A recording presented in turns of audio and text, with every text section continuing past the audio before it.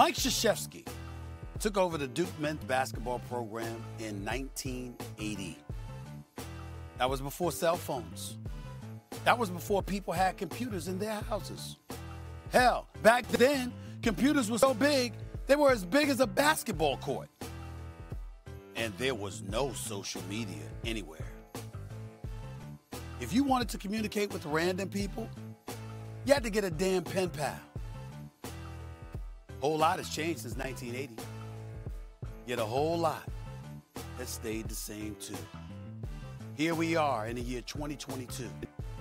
The Elite Eight and Duke and Coach K at 75 years of age is still getting it done. Don't get it wrong. That is the sign of true greatness. Standing the test of time, adapting, changing. That's what it's about, y'all. We saw it last night against Texas Tech, where Coach K took his players' advice late in the game to switch from zone to man to man. They asked him to do it. He could have said no. He could have refused.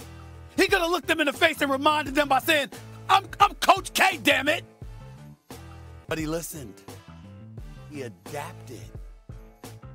He did what was best. And he won because of it. Same as it ever was. Same as it's been for the last 42 seasons. The world, the word legend gets thrown around a lot in this business, but Coach K is a legend in every sense of the word, and it's a joy, an absolute joy, to see him proving it all over again. Thanks for watching ESPN on YouTube. For live streaming sports and premium content, subscribe to ESPN Plus.